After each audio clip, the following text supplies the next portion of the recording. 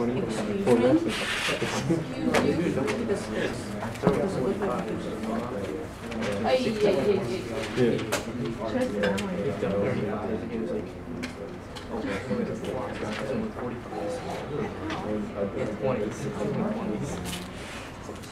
couldn't even use the regular combination. Oh, it's recording. Yeah. Ah. All right, let's think about maximum and minimum of this two variable function. Now what we know about this function is that the maximum doesn't exist because you can make it as large as you want. The, the output of this function can be made to be as large as you want just by fixing one of them and increasing the other one. So for example, if I put 0 into x, so this is 0, and put like a million into y, a million squared is a trillion, so you can make this as large as you want. Is that a two or a Z?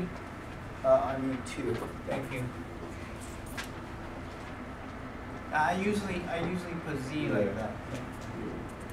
Alright. um, however, this function has a minimum. And I want to figure out ways to find at what point it attains its minimum. Okay? So first method is not the method that we'll be using here because it relies on some really basic pre-calculus method and it's not usually applicable for other situations. But here's this, the, the first method I want to show you. To find the minimum, this is what you want to do. You want to rewrite this as x squared minus 2x plus 1 minus 1 plus y squared. So I add 1 and subtract 1. Now why do I do that? That's because if I do it, then this becomes what? x minus 1 squared. It's a complete square, right? So I added 1 and subtracted 1 so that these two are the same. Right? If, if you add 1 and subtract 1, it's the same thing. But adding 1 gives you one part as a square, complete square, and you get a negative 1, and then y squared. Now looking at this, then we can actually determine the minimum value, minimum possible value of this function. What is it? No? What's the minimum possible value of this function? Negative one. It should be negative 1, right? It's negative. Now, how would you know that? Well, think about it this way. If you have something squared, can this be negative? No. No. The least a square can be is 0. 0 squared is 0. That's the least it can be. Okay. How about this one, y squared? The least it can be? Positive, whatever. Yeah, or 0. Okay. So I know that this is 0 or more. I know this is 0 or more.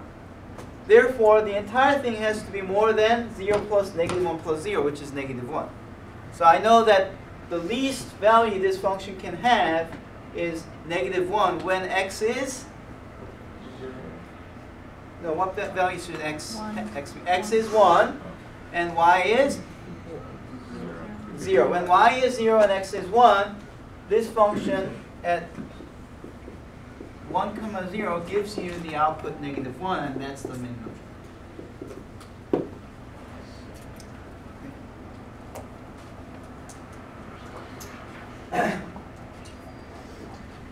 And that's not the method that we want to use. Uh, see, we're in Calc 3, so we really want to make use of derivatives. Okay?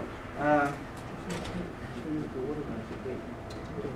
so, how can we figure out this, this same fact? 1 comma 0 will give you negative 1. Well, I guess uh, one thing that you might want to do is uh, first say, well, the maximum doesn't exist, so if it has something, it must be a minimum. And if, if the function attains its minimum at some point, what do you know about their derivatives? Huh? It's equal to zero. Yeah. So, oh, by the way, if you write, write like this, the uh, you, you can think of it as z equal to x squared plus y squared, which is a paraboloid. We learned about paraboloids before. And if you if you do x minus 1 squared plus y squared, that moves the paraboloid one step to the x x direction, positive x direction. And then if you subtract 1, it, it lowers it down like that. So we know that it it is a, it is shaped like a bowl, so it has this minimum minimum at some point. All right, so it has a minimum, and if you think about what happens to its x x y no, it's uh, the slice of this surface in in either this direction or, or that direction. If you cut it either parallel to so let's say here, this is the minimum. If you cut it parallel to the yz plane, or if you cut it parallel to the xz plane, either way, you get a problem like that with minima happening right here, right? Therefore, eh, let's say this is the uh, plane that's parallel to yz. Uh, let's this. Actually, it's more like that. Okay, at this point, what's going to happen? What's the derivative of this function Zero. With respect to y as you're moving in the y direction? It must be Zero. zero. How about derivative with respect to x?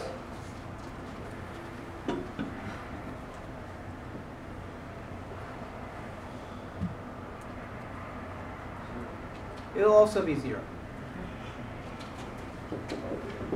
Uh, if that didn't convince you, here's another way to think about it. See, you're, you're in a basin, and you're at the, late, uh, the, the lowest plate of the basin. Okay? Think about the directional derivative as you're moving along. okay? So just pick a direction, and you try to think about the directional derivative. Well, if you go a little bit more further up, then you know that the derivative is increasing, right? I mean, the derivative is positive because the function is increasing, your altitude is going up, right? But at the moment where you're there, what's the derivative? Is zero. Because in this trajectory, as you're moving along this, this one direction, the moment before you reach the minimum point, the derivative is negative because you're decreasing, the, your altitude is decreasing. And after you pass through this point, your altitude is increasing. Therefore, the moment where you, when you're at the minimum, the rate of change would be zero. So this type of argument can convince you that no matter what kind of directional derivative you choose, the derivative will be zero. All directional derivatives will be zero at the minimum. Also, it's true for, for maximum. If you have a maximum, all the directional derivatives would be zero. But directional derivatives are really gradient of f dotted with u. So if this is to be zero for any kind of direction, what does that mean for this? It has to be zero. More specifically, it has to be zero for one zero. But what's that? This is f differentiated by x and f differentiated by y. And you're trying to do a dot product with one zero. That has to be zero, right? Which is just f differentiated by x, right? So partial derivative with respect to x is really the directional derivative in 1 comma 0 direction. Okay? And if you use 0 comma 1, you can also show that round f round y is 0. In that case, this is 0, that's 0. So what do we know? We know that the gradient must be 0. Okay? So that, that's the argument I'm making. And if you recall what we did for calculus 1 when we found the maximum and minimum, it's very similar. In calculus 1, we had something called uh, critical number. Number in one variable calculus.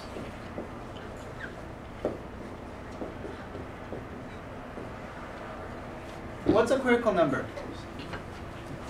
It's a critical number where, uh, it's a point where, yeah, yeah, it changes direction. What, but what does that mean for the derivative? Actually, that's not wholly true. It might not change direction. Any point where the derivative is equal to zero, or where it does, it does not exist.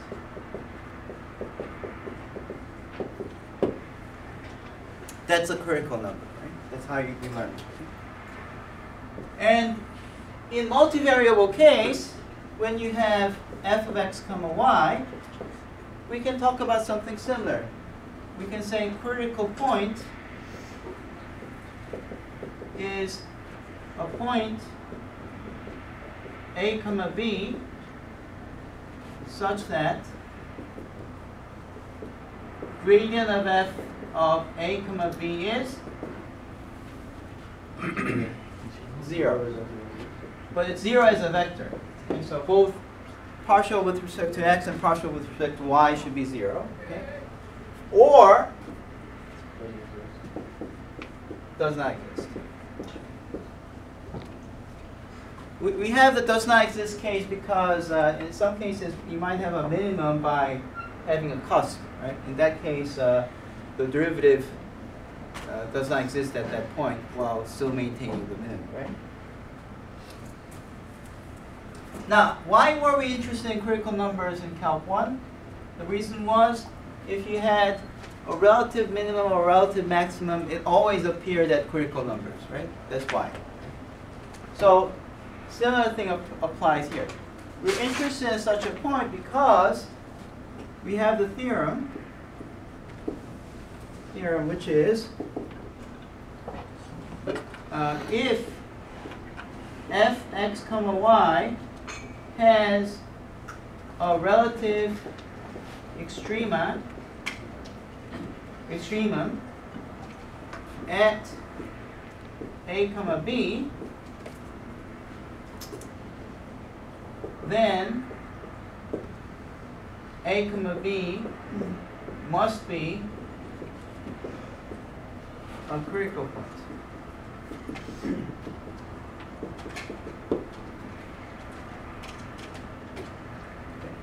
So that's a good good reason why we would like to have the critical point. Okay. Now going back to this question, let's see what that means for this one. If that did have a relative minimum, which actually means a global minimum in our context, it must happen at the critical point, right? So let's write down the f partial with respect to x. What do you get if you differentiate by x? 2x minus 2. And y squared differentiates to 0 if you're differentiating by x, because partial derivative means you're treating y as a constant, right? What's round f round y? It says 2y. And you want both of them to be 0. For the gradient to be 0, it means that partial with respect to x should be 0, and partial with respect to y should be 0. Okay, so what does that give us? The first thing would say x is no, no, move the 2 to the other side and divide by 2. You get x equal to positive 1. The second one will say y is 0. Therefore, what's the point? 1 comma 0 is the critical number. Critical point. Okay? And that's it. We found the point without having to do algebra we, we found out that 1 comma 0 is the point that it will attain its minimum if there was one.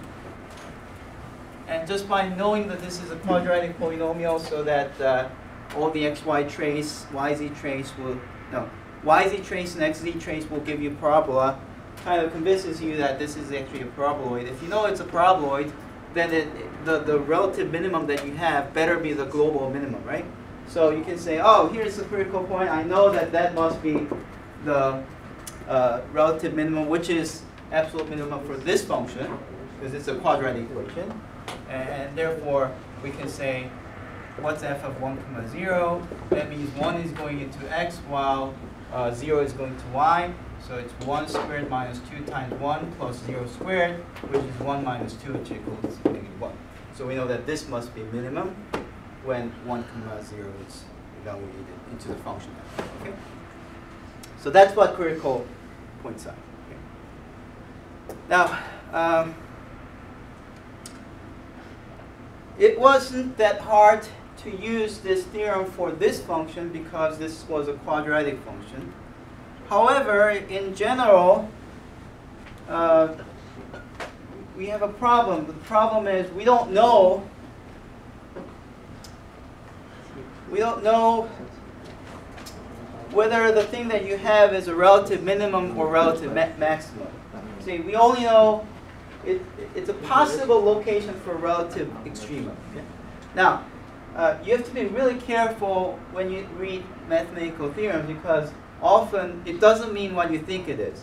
Now, does this mean that if you have a critical point, it must be either the maximum or minimum? No. No. It only says if you have a relative extremum, it must have it must be a critical point. But being a critical point doesn't mean that it's a relative extremum. And actually, th- this the following happens. Uh, there's a case where it's very different from from the one variable case, which is when you have something like a saddle. So if you had a saddle, then at, at this point, because in this direction it's the minimum point, the derivative in the x direction will be zero, whereas let's say this is the y direction. In this direction it's a parabola going that way, still the directional derivative in the y direction is zero. So it's zero in both directions, so it is a critical point. But this is neither a relative maximum nor relative minimum. Yeah, it, it's it's a saddle point. Uh, it's it's it's lower than the nearby if you're going this way, right? But if you're going that way, it's higher than that point. So uh, if you look around this point, there are places where it's higher than that point, and there are places where it's lower than that point. So it's neither a relative maximum nor a relative minimum. Okay? So you can have a saddle, and and that's why uh, in calculus three, it's more complicated than calculus one. So so here's what what must be done. We need to know. We need to come up with a way uh, to figure out whether the given critical point is a relative maximum, relative minimum, or it's a saddle. We have to distinguish between the three cases. How do we do that? Well, going back to the calculus 1 case, you learn to use uh, what? Uh, first derivative test and second derivative test, right? You learn to use those, right? Uh, here in Calc 3, the first derivative test is no good. It's not going to be uh, useful here because uh, you can't differentiate just one direction. You have to differentiate in every direction. It, it's har- harder to do it. So in Calc 2, uh, Calc 3, in, in multivariable calculus, uh, something equivalent to equivalent to second derivative test is the only method that we'll be able to use. Okay, and that's uh, that's what I'm about to show you. Okay, so using the second derivative test, something equivalent to a second derivative test, we'll be able to figure out if a given critical point is a relative extremum, a relative maximum, a relative minimum, or a saddle point.